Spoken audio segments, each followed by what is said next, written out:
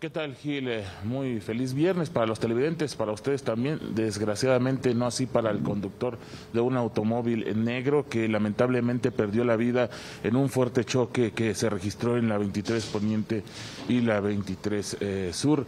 Mencionarte que, pues, así fue como quedaron las dos unidades eh, que se encuentran prácticamente impactadas en unos, pues, en una barrera de contención que protege un edificio.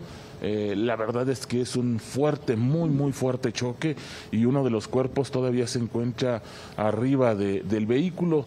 Eh, mencionar que hasta el momento se tiene acordonada todo lo que es la 23 Poniente y la 23 eh, Sur para quienes quieran obviamente ocupar estas eh, avenidas.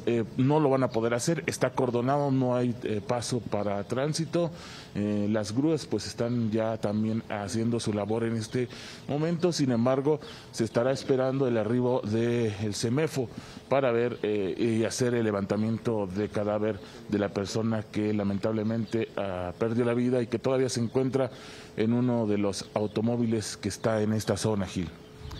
Lamentable, lamentable accidente 23 Poniente y 23 Sur. Gracias por la información, Cristóbal.